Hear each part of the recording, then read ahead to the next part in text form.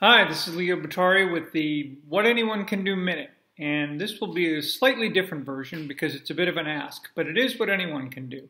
Uh, if you've read uh, the book What Anyone Can Do, and you'd be inclined to leave a review, either on Amazon or Goodreads, it would be greatly appreciated. Uh, as you might imagine, you know, I talk a lot about the power of peers. And when people are looking to read books, they want to look to people who share an interest in the subject matter and um, and they look to you for your thoughts on how valuable the content was and um, you know what it might mean to them.